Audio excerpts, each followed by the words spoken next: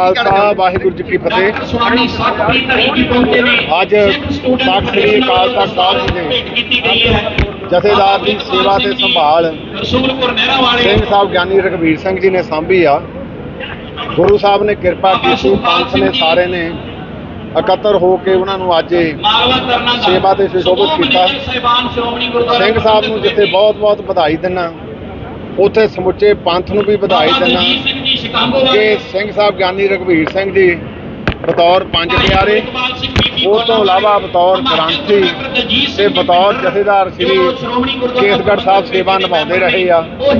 ਸਮਾਂ ਚੁਣੌਤੀਆਂ ਭਰਾ ਆ ਪਰ ਇਸ ਸਮੇਂ ਦੇ ਉੱਤੇ ਮੈਂ ਸਮਝਦਾ ਠਰਮੇ ਤੇ ਸਹਿਜ ਦੇ ਨਾਲ ਸਿੰਘ ਸਾਹਿਬ ਯੋਗ ਅਗਵਾਈ ਕਰਨ। ਇੱਕ ਮੈਂ ਕਿਉਂਕਿ ਕਈ ਵਾਰੀ ਐਵੇਂ ਦੀਆਂ ਗੱਲਾਂ ਰਹਿ ਜਾਂਦੀਆਂ। ਜਿਹੜੇ ਅਸੈਂਬਲੀ ਦੇ ਵਿੱਚ ਇਹ ਕਹਿੰਦੇ ਸੀ ਕਿ ਅਸੀਂ ਪਵਿੱਤਰ ਗੁਰਬਾਣੀ ਘਰ ਘਰ ਪਹੁੰਚਾਉਣੀ ਆ। ਮੈਂ ਉਹਨਾਂ ਨੂੰ ਪੁੱਛਣਾ ਚਾਹੁੰਦਾ ਕਿ ਜਿਹੇ ਵੇਲੇ ਭਗਤ ਸਾਹਿਬਾਨਾਂ ਦੇ ਨਾਮ ਲਏ ਉਹ ਬੀਟਾ ਰੀਟਾ ਕਰਕੇ ਲੈਂਦੇ ਆ।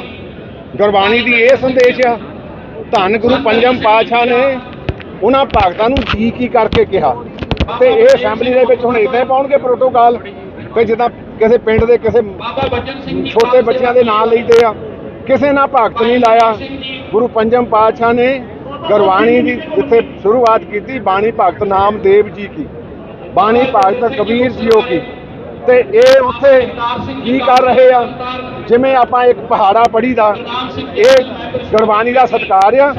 ਇਹ ਉਹਨਾਂ ਨੇ ਗੁਰਬਾਣੀ ਰਚੀ ਆ, ਜਿਨ੍ਹਾਂ ਦਾ ਇਨਾਮ ਲੈ ਰਹੇ ਸੀ। ਮੈਂ ਕਹਿੰਦਾ ਸ਼ਰਮ ਆਉਣੀ ਚਾਹੀਦੀ ਆ ਕਿ ਉੱਥੇ ਗੁਰਬਾਣੀ ਦੀਆਂ ਗੱਲਾਂ ਕਰਨ ਵਾਲੇ, ਘਰ ਘਰ ਪਹੁੰਚਾਉਣ ਵਾਲੇ, ਉੱਥੇ ਅਸੈਂਬਲੀ ਦੇ ਵਿੱਚ ਇਹ ਸੁਨੇਹਾ ਦੇ ਰਹੇ। ਸਭ ਤੋਂ ਭਾੜਾ ਸਾਬਤ ਸੂਤ ਦਸਤਾਰ ਸਿਰਾ ਗੁਰੂ ਨਾਨਕ ਦੇਵ ਪਾਤਸ਼ਾਹ ਦੀ ਪਵਿੱਤਰ ਗੁਰਬਾਣੀ ਦਾ ਕਥਨ ਆ। ਮਨੁੱਖ ਸਾਬਤ ਸੂਰਤ ਤੇ ਸਿਰ ਤੇ ਦਸਤਾਰ ਹੋਵੇ ਤੇ ਜਿਹੜੇ ਟਾਂਚਾਂ ਕਰਦੇ ਦਾੜੀ ਤੇ ਤੇ ਫਿਰ ਨਾਲ ਫੇ ਦਾੜੀ ਬੰਨੀ ਆ ਤੇ ਕਦੇ ਖੋਲੀ ਆ, ਤੇ ਨਾਲ ਐਕਟਿੰਗ ਕਰਕੇ ਦੱਸਦੇ ਆ। ਮੈਂ ਪੁੱਛਦਾ, ਇਹ ਉਸ ਪਵਿੱਤਰ ਗੁਰੂ ਨਾਨਕ ਦੇਵ ਪਾਤਸ਼ਾਹ ਦੀ ਗੁਰਬਾਣੀ ਦਾ ਉਹਦਾ ਨਰਾਦਰ ਤਾਂ ਨਹੀਂ ਕਿ ਸਾਫ਼ ਸੂਰ ਦਸਤਾਰ ਸਿਰਾ? ਇਹਨਾਂ ਤਾਂ ਸਾਫ਼ ਸੂਰ ਤੇ ਕੋਈ ਨਹੀਂ। ਤੇ ਦਸਤਾਰਾਂ ਵੀ ਸਜਾਈਆਂ, ਉਹ ਦਸਤਾਰਾਂ ਵੀ ਦਿਖਾਉਣ ਨੂੰ ਸਜਾਈਆਂ ਆ। ਥੱਲੇ ਕੇਸ ਹੈ ਨਹੀਂ। ਮੈਂ ਸਮਝਦਾ ਬੜੀ ਵੱਡੀ ਨਹੀਂ, ਉਹਦਾ ਲੰਘਣਾ ਕੀਤੀ ਆ। ਗੁਰਮਤੀ ਲੰਘਣਾ ਕੀਤੀ। ਘਰ ਘਰ ਕਹਿ ਕੇ ਇਹ ਗੱਲ ਕਹਿਣੀ ਕਿ ਅਸੀਂ ਘਰ ਘਰ ਚ ਗੁਰਬਾਣੀ ਪਹੁੰਚਾਵਾਂਗੇ, ਅਸੀਂ ਵੀ ਪਹੁੰਚਾਵਾਂਗੇ। ਅਸੀਂ ਸਾਰਾ ਤੈਅ ਕੀਤਾ ਆ। ਪਰ ਇਹ ਮੁੱਦਾ ਜਿਹੜਾ ਆ, ਇਹ ਪੰਥਕ ਮੁੱਦਾ, ਇਹ ਚਾਹੁੰਦੇ ਆ ਵੀ ਇਹ ਸਾਰਾ ਅਸੀਂ ਉਹਦਾ ਲਾਹਾ ਲੈ ਲਈਏ।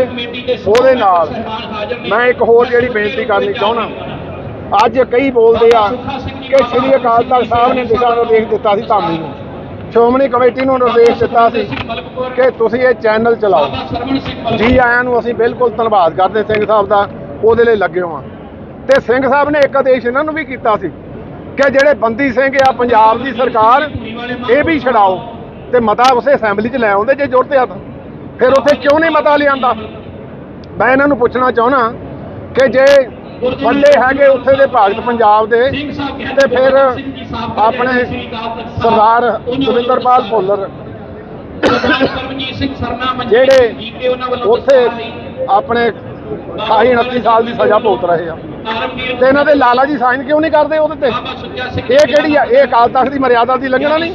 ਇਹਨਾਂ ਨੂੰ ਨਿਰਦੇਸ਼ ਨਹੀਂ ਦਿੱਤੇ। ਸਿੰਘ ਸਾਹਿਬ ਨੇ ਪਿਛਲੇ ਇੱਥੇ ਮਹੀਨੇ ਉਹ ਡਿਬਰੂਗੜ੍ਹ ਵਾਲਿਆਂ ਨੇ ਵੀ ਸੰਦੇਸ਼ ਦਿੱਤੇ ਸੀ। 27 ਬੱਚੇ ਅੱਜ ਬੇਕਸੂਰ ਇੱਥੇ ਅੰਮ੍ਰਿਤਸਰ ਜੇਲ੍ਹ 'ਚ ਆ। ਹੋਰਨਾਂ ਜੇਲ੍ਹਾਂ 'ਚ ਬੈਠੇ ਆ।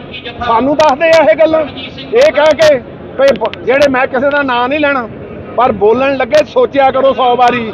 ਉੱਥੇ ਤੁਸੀਂ ਅਸੈਂਬਲੀ 'ਚ ਨਰਾਦਰ ਕੀਤਾ ਭਗਤਾਂ ਦਾ ਜਿਨ੍ਹਾਂ ਦੀ ਗੁਰਬਾਣੀ ਗੁਰੂ ਪੰਜਮ ਪਾਤਸ਼ਾਹ ਨੇ ਤਰੁੱਟ ਕਰਕੇ ਸਿੱਖ ਹਰ ਵੇਲੇ ਸਵੇਰੇ ਅੰਮ੍ਰਿਤ ਵੇਲੇ ਉੱਠ ਕੇ ਨਮਸਕਾਰ ਕਰਦਾ ਤੇ ਤੁਹਾਨੂੰ ਸ਼ਰਮ ਨਾ ਆਈ ਨਾਂ ਲੈਣ ਲੱਗਿਆਂ ਨੂੰ ਤੁਸੀਂ ਉਹਨਾਂ ਦਾ ਭਗਤ ਨਹੀਂ ਲਾ ਸਕੇ ਸਤਕਾਰ ਨਹੀਂ ਭੇਟ ਕਰ ਸਕੇ।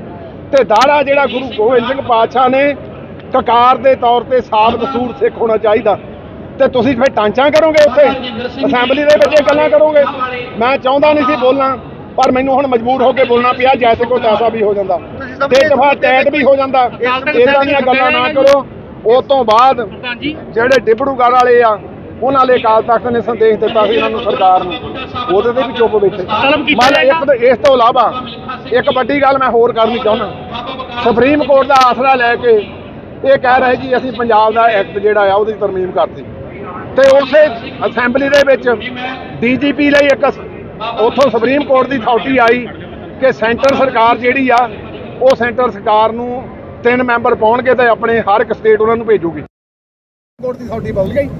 ਸਾਡੀ ਵਾਰ ਨੂੰ ਅਥਾਰਟੀ ਆ, ਜਿਹੜੀ ਕਿ ਰੈਲੀਮੈਂਟ ਨੇ ਇਸ ਤੱਕ ਮੁੰਡੇ ਰੱਦ ਕਰਦੇ ਦਿੱਤਾ।